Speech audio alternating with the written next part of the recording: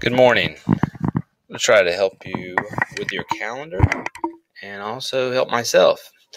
Um, our calendar can be a great resource for you, um, but also it can be a pain if there's too much information there and you can't find what you need. So, one thing you can do is you can make different calendars, and here's the Western calendar. I'm going to turn off um, some other calendars that I have and you can see that as I turn off things now just have the western calendar. Now a lot of times um, I am putting things that maybe you don't need to see um, but sometimes I put things in there because I'm putting in because I want you to see them maybe a meeting um, and it's just an extra meeting reminder. Um, but when I put an item for Western, I also have my calendar. And hopefully it's not always showing, but sometimes things may show up out of my calendar because I'm adding them as a reminder. Because the calendar is a great place for reminders. Also, it's a great place for to do list. If you go over here to create, excuse me, not create, to my calendar, excuse me, I already got it set up. If you go over to task, everyone should have task on their calendar. Da-da, a to-do list can come up. Uh, that to-do list can be very helpful because it also works in your email. It whatever to-do list here, the task list also goes into your email. Um, so you can turn on and off like these calendars. I have one for the principal calendar. I have one for continuous improvement. And I have personal calendars also. Okay, so these things are going to show up as you click on and off.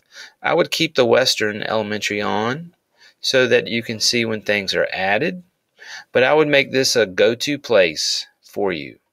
Also, you have data collection, report cards, grades, all kind of things. This is a great place to put those.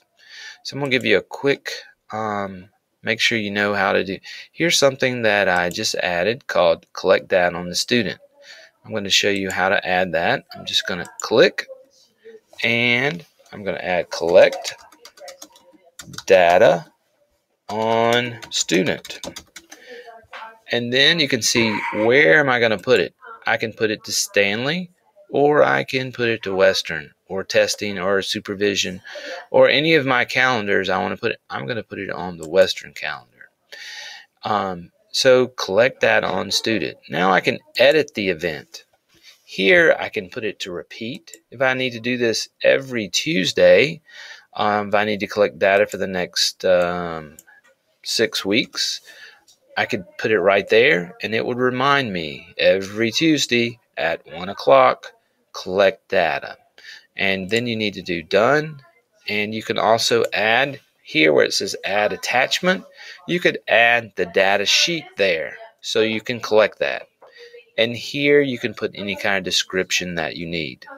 And then you've got to hit save. So I'm just going to go back and discard that.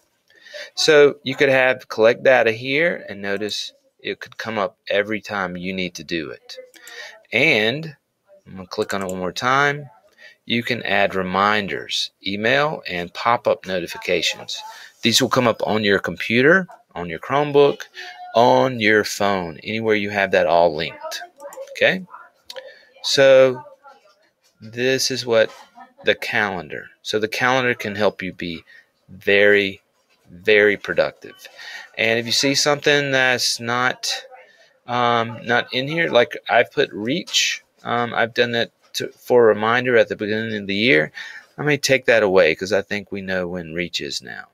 But it is helpful for other people like myself. Um, STEM Club, and you can see faculty meeting. Hopefully, those are there too. But we're trying to keep this updated and add, and you can do the same by adding a kindergarten specials, kindergarten list, or first grade list, and you can ask me, and I can join that, and that would show up in my calendar too. Especially if you wanted me to come see a special project, you could put it right here. I would see it and I would know. Hopefully, this has been helpful for your calendar. Um, there's a lot more to it, But this will be the end of this video. Thank you.